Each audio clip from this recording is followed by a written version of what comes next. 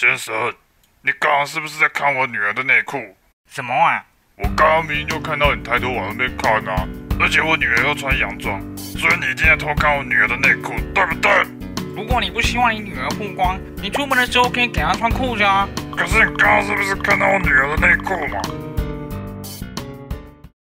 这位爸爸，我知道你可能在担心你女儿的安危，但不能因为一些巧合就断定别人一定做了什么事。重点不是我有没有看到女儿的内裤，而是我绝对不会对女儿做出什么坏事。况且，就算我有看到好了，我也不是在偷拍，说不定等等我就忘记刚刚看到什么了。我女儿的内裤是什么颜色？是黑色。错了，是黄色。好吧，既然你真的没有偷看我女儿的内裤，那就没事了。